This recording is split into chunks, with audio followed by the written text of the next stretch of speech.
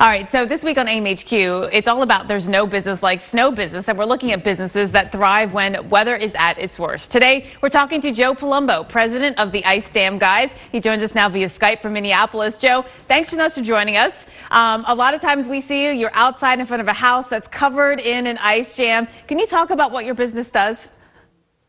Hey Jen, say uh, good to be back. We we climb up on roofs and remove snow and ice from from top of roofs.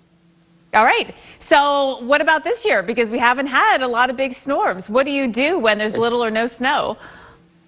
Well, we do a lot of nothing. We, we chase a lot of snow around, but, uh, you know, we, we really need those big snows, six inches plus or more, uh, followed by cold air. And we just really haven't had it this year, except for Erie, Pennsylvania, and a little bit in Boston, and now in Minneapolis, but nothing real exciting.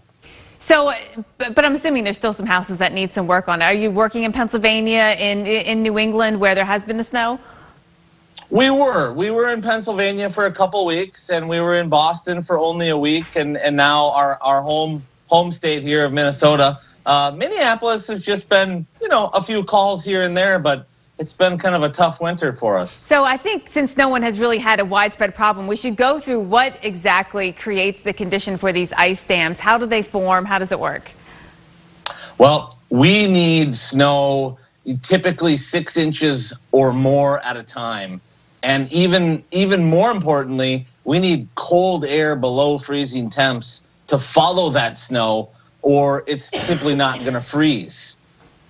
So on, on your house, you get this snowpack six inches or more. What happens to create these ice dams? What happens within, you know, sort of the, the heat at the roof of your, of your house?